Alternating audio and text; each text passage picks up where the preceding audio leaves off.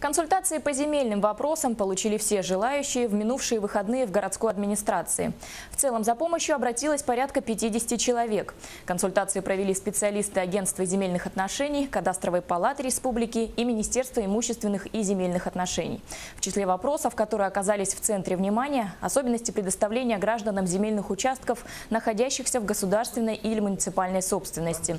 Также специалисты провели консультацию по регистрации в Федеральной информационной системе на дальневосток.рф, посредством которой будут приниматься заявления на бесплатный гектар земли в электронном виде. В очередь на портал для бесплатного, э, бесплатной земли на 1 га. Ну, э, до, сказали до сентября в очереди вставать на пустующие э, земли. Ну вот пришла на портал записываться. Консультацию дали хорошую, э, как и что, и декларацию потом через три года составлять, принести, отчитываться. Потом в течение пяти лет, каждые пять лет уже отчитываться, декларацию подавать.